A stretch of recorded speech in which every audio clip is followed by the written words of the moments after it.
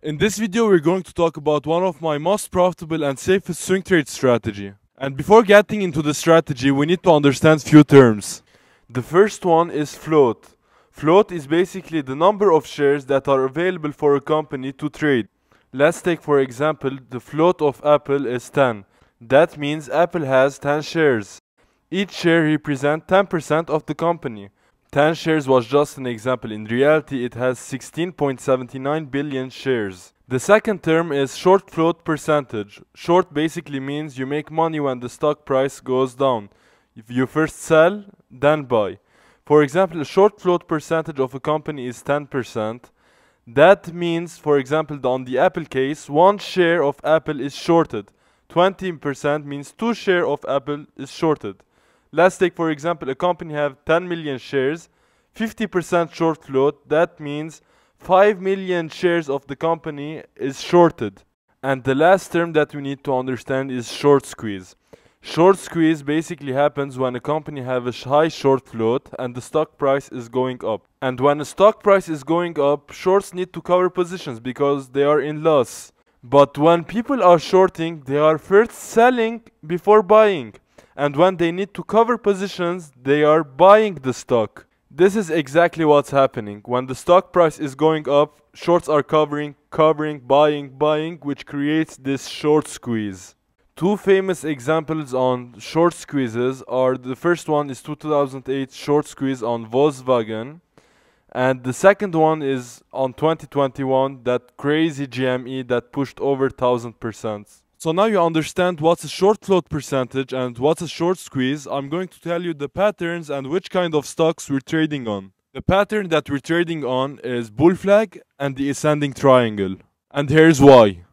So we're trying to find good companies which have at least 10% short float. And on these stocks, we're going to search the bull flag and the ascending triangle pattern. Here's the bull flag pattern. It's basically the stock price going up and moving between a support and resistance. So on a bull flag, we're betting the stock price will go up. Basically on a bull flag, you should buy at the breakout. So when it breaks the resistance, that's where you need to buy. But why we need to buy when it has a high short float? Because breakout traders will get in and shorts will start covering. That will create a massive buying pressure. So with the, all this buying pressure, the shorts and the breakout traders, that this will create a short squeeze. And of course, we're trading this on a daily or one hour time frame. The second pattern is on an ascending triangle. Same analysis, you buy at the breakout, it will create that buying pressure. On a daily time frame, some trades can go more than 100% in few days. We'll show some examples later. And now you should understand why it's very profitable. Because once it does the breakout, the buying pressure will be much higher than regular breakouts. Because you have the high short float and the breakout traders are getting in. So now I'm going to show you some examples and how to let your winners run on this strategy. Okay, so here's some example. I said in the chat room to buy NK at 21.01 and I said this is a perfect setup. So as said, NK have more than 10% short float and you can see here it's forming this ascending triangle. It formed a perfect ascending triangle and the breakout was at 21.01. So I was waiting perfectly to buy at 21.01 because once it breaks, the breakout traders will get in and the traders who are short will start covering their positions because they know this pattern it's a pretty good that should be bullish. So after it broke 21.01 and we started buying, it started to push. And it did a massive 100% move after 10 days check. It made almost 111% move and I don't know if it will push more or not. So you can see the power of the strategy, the power of the short squeeze plus the breakout. And there's many, many, many other trades like this and no one talks about because those are not stocks like GME everyone's talking about basically. Now we need to get into more depth on the strategy where we set our profit taking, our stop loss, everything. So here's the stock price that formed the bull flag and we need to buy at the breakout. So you can set a buy stop order at the breakout. But where we're going to set our stop loss and profit taking area. After extensive backtesting, I found that the best way is not to use stop loss and just sell the stock after 10 days because after it breaks, it does that short squeeze. The chance that it drops, it's much lower. So the best way that I found is no stop loss, sell after 10 days and set a profit taking area, a minimum profit taking area of 10%. I'll try to explain better. So this is the stock doing the breakout we bought. So after the breakout, the stock price is going up.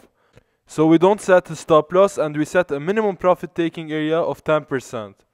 After the stock reached that 10%, we need to follow the 9 EMA line because the 9 EMA line follows a short term trend. So we use that as a stop loss if the stock did a great move like NK that I showed you earlier, you can catch 100% moves using the 9 EMA line and just risking, for example, very little. So we're trading this on daily time frame and, and using the 9 EMA. You can use the 30 minute time frame and use 9 EMA and 21 EMA crossover for a sell signal. Okay, so now let's jump into some examples so you'll understand the strategy much better. Let's take an example on ANF. I said to buy at 19.01. Okay, so at this point, ANF did the breakout and I missed the original move. So I said I was going to buy at the next breakout, which is at 19.01, right after here. So you can see ANF is forming, is kind of forming a bull flag here, and the breakout is at 19.01. This stock had around 20% or 15% short float. So at the breakout, it started squeezing as expected. And it did, if we follow the 9 EMA line, this is on a 30 minute time frame, we're going to switch on daily, we would get around here. We would make 20% profit. So after it made 10%, I was going to take some profits, but I saw that it was forming another triangle pattern here, an ascending triangle pattern here, and it was again a great buying opportunity. So I kept my positions, which made a squeeze. It had earnings, and I sold uh, right at market open. So this trade almost took one week. If you're going to switch on a daily time frame, you can see after one or two months it made better moves, around 50% moves. And here's some examples on SFIX and PRTS. So SFIX formed multiple bull flags here. You can see here and almost here. So I found the stock when it was around $32 area. And I said in the chat room, as you saw, I am going to buy at the breakout at 36.01. Why? Because it had a high short float, and at the breakout, we might expect some squeeze. So at 36.01, we bought, and it started squeezing. It made a crazy 50%, 45% move. And where we should have sold when the stock price crosses with the 9 EMA line. So we should have sold here, but I sold very early. I did not let my winners run. So this is really important to let your winners run. You should use the 9 EMA line to let your winners run on the daily time frame. So after doing this small push, the small 10% push, it got back to support, which is here, and it pushed more. So you start understanding my point on how to trade the stocks and how the strategy works and later you can see SFIX had an, had earnings and they made extremely well and it pushed the stock even $110 so you can't mess with the short float because once it gets squeezed it's really hard to stop. Because 20 to 30% short float imagine 30% of the shares available are betting against so once the stock price, imagine 30% of the shares are being bought again. So that's a huge buying pressure. So you should never mess with the short float. Though, and that's why the strategy works extremely well. And this is the last example on PRTS. I'm going to show you this example to show you it's not always super clean charts. Sometimes it can be really choppy. Let's take an example. Here it formed the bull flag. I want to buy the breakout, which was here. 14.51 it was a bit early but yeah once it breaks this level I said that it can push higher so I bought at 14.51 you can see this choppy moves but at the end it did reach 17 which is around 15% to 16% profit, which is super amazing. So if you want alerts like this, you can join our chat room. The link is in bio. And of course, if you want contents like this, subscribe to my channel and thanks for watching